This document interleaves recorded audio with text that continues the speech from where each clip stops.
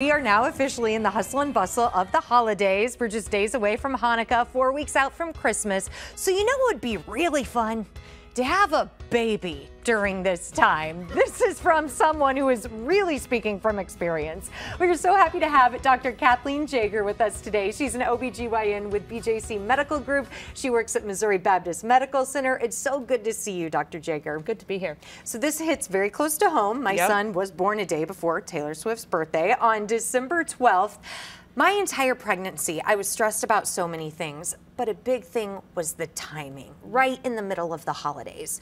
What do you say to maybe anxious moms about welcoming a newborn during this busy, crazy, fun time of year? Yeah, as hard as it is to do, I tell new or expectant moms to enjoy and celebrate this time. A new mm-hmm. baby and the holidays are both so exciting and fun, and events and things like that are just a great opportunity to share it with family and friends. But I go back to the stress and, and anxiety of worrying about protecting this newborn, whether he or she is born maybe in October or even November, December. It's cold and flu season.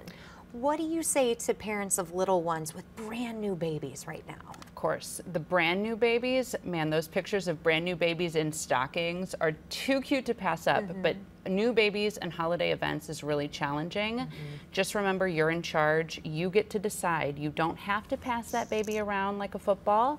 You can wear the baby. Mm-hmm. Um, certainly don't be shy to ask fam- family and friends to wash their hands. And don't let anyone who's symptomatic hold the baby.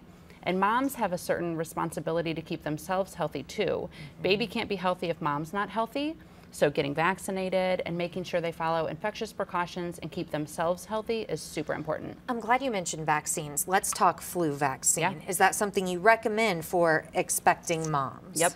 As early as possible and in any trimester. Pregnancy increases your risk of severe complications of the flu, so hospital and ICU admission, pneumonia, pregnancy complications, and even preterm labor. Mm-hmm. And the flu vaccine is the best way we have to decrease those risks.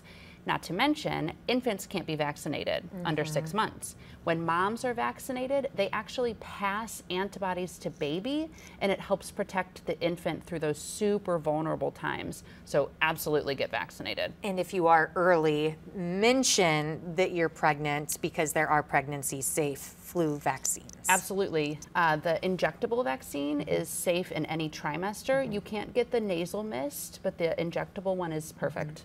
And then my final question for Yeah. you, and I'm kind of giggling about this um, hospital bag, and I'm giggling because I took two rolling suitcases with me.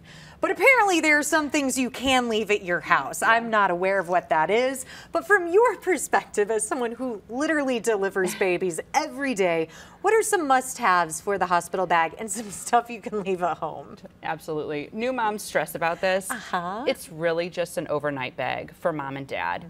Bring things that keep you comfortable. If there's a blanket or a pillow that helps you feel at home and you don't mind it maybe getting dirty, um, go ahead and bring it. But it's really just an overnight bag. For baby, make sure you bring some outfits, some cute ones to take pictures if it's around the holiday. The stockings and the baby Santa hats are adorable. But we have everything else you need for baby. And that's nice. Yeah. Because my bags were full of my makeup. Hey, happy holidays to Happy you. holidays. It's a very exciting time for growing families. And thank you for being part of, course. my mom club.